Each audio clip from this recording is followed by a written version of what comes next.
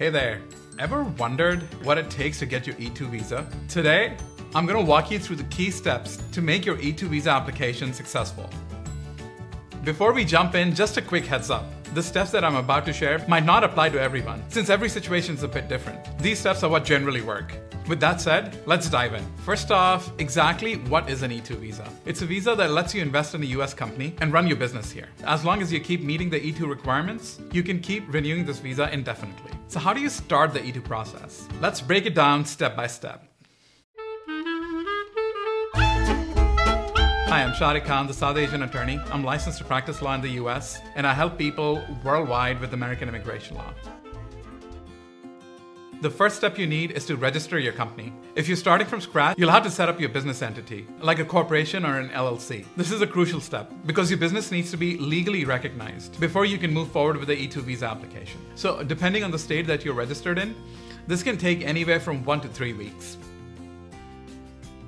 Once your company is registered, the next step is getting an EIN number. The EIN number or the employer identification number is like a social security number, but it's for your business. It's assigned by the IRS. If you already have a social, you can get the EIN almost instantly. If not, then it might take you a month or longer, so plan accordingly. If you're finding this video helpful, please consider liking and subscribing. It helps this video reach more people just like yourself.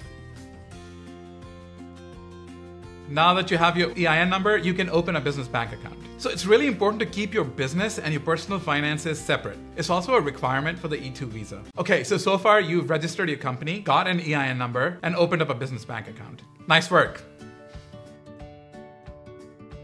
Next, you'll need to transfer your funds into your business bank account. This means moving money from your personal account into your business account. These funds are what you'll use to run your business. So make sure to transfer the full amount that you plan to invest. Now that your funds are in the business account, it's time to start spending. For the E2 visa, you need to show that your investment is at risk, meaning it's actively being used in your business. This could be for things like buying equipment, securing a lease, purchasing inventory, building a website, or even marketing. The key is to make sure that the money is spent to get your business up and running.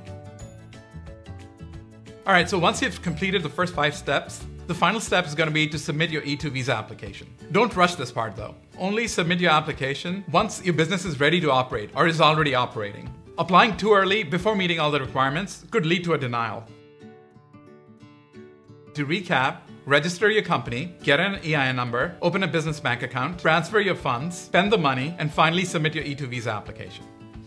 Keep in mind, this is just a general guide. Your specific situation might need additional steps or a different approach. So be sure to consult with an experienced immigration attorney before moving forward. If you know someone who could benefit from this video, please share it. Thanks for watching and I'll catch you in the next video.